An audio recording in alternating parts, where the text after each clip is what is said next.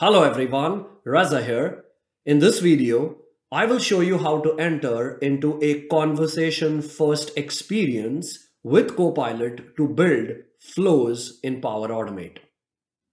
The conversational first experience extends our ability to ask Copilot in natural language to create our automation. Think about this as ChatGPT, where our Copilot will work with us to create a flow based on a use case or a scenario that we define. Let's check it out in action.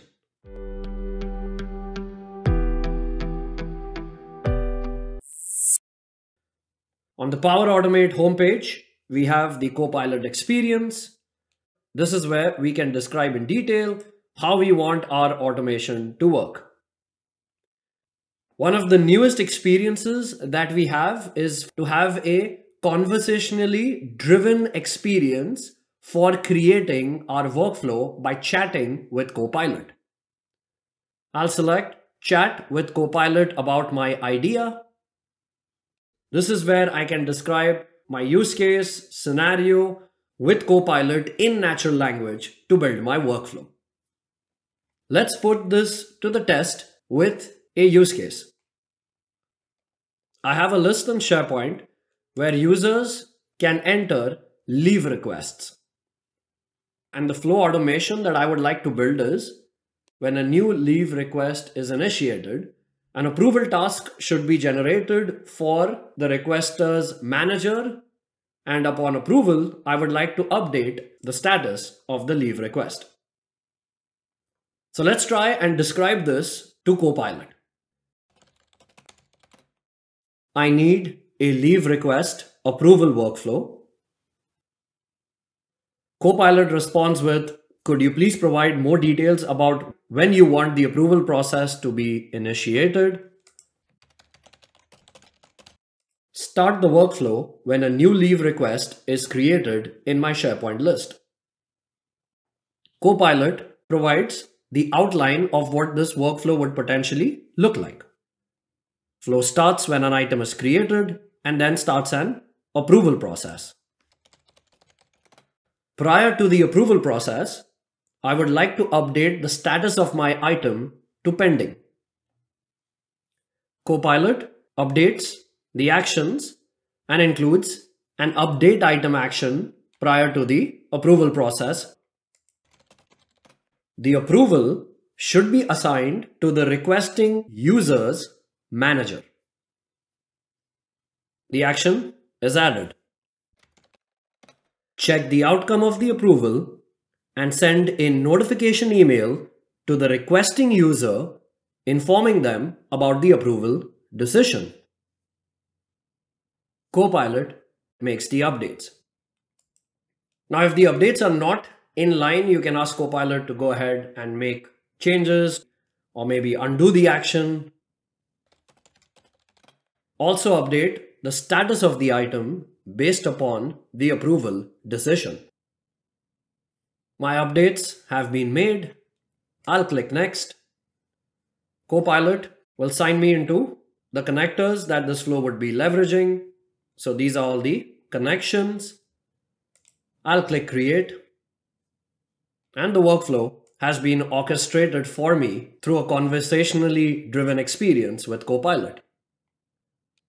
I still have work to do at this point to go and configure my flow, but Copilot has done 80% of the work for me. For the trigger action, I need to provide the URL of my SharePoint site and connect to my SharePoint list. So the flow triggers when a new item is created in my leave request list. Then comes the update item action once again, connect to my SharePoint site and SharePoint list. Advanced parameters, I'll click show all. Status is what I want to change at this point to pending prior to starting the approval process. Status is a choice column, so I'll go ahead and pick status, pending, get manager. Copilot plugged in this expression wherein it's trying to get the requesting user Copilot generated content can make mistakes.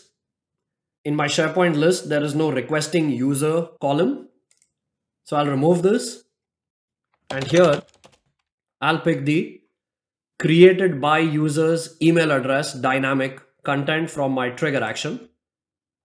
Whoever created the item, go and get their manager details from Active Directory.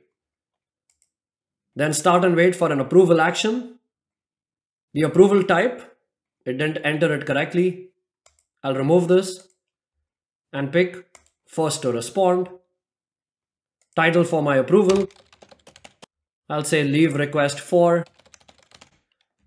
I'll put the created by users display name.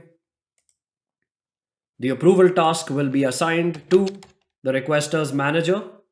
I'll get their email information from the mail dynamic content property. Here I can plug in details about the approval. I'll plug in the title of the request. These dynamic content values are based upon the columns that I defined in my SharePoint list. Can also add a link to the item. Item link description, I'll put the title. Notice at the bottom, there are some additional properties. These were generated by Copilot. I do not require these, so I will remove these parameters. That completes my start and wait for an approval action. Next, I have a condition. Here I would like to check the outcome of the approval. If it is approved, then it goes on the true branch, send an email, sending it to the requester. Requester will be the created by user's email address. I'll state your leave request has been approved. And in the body, I'll put the details of the leave request that the user entered. I can also plug in the comments that the approver puts in in the approval action. Now when I pick commands, it will add a for each loop. That's because the approval task can go to multiple users. In my case, it's just one user, the user's manager. So this loop will only run once. Some parameters are set by Copilot. I'll remove that. That completes my email action. Then I would want to update the status of the item. I'll connect to my SharePoint list and change the status to approved. That completes the left branch. I would like to repeat similar steps on the right hand side. Now this condition here on the right within the false branch, I'm simply going to delete this. On the left hand side for each, I'll copy, paste it here. The only thing I'll change here is the subject. I'll say rejected. And then the update item action. I'll copy and paste it in the false branch. Here, I'll want the status to be rejected. That completes my flow.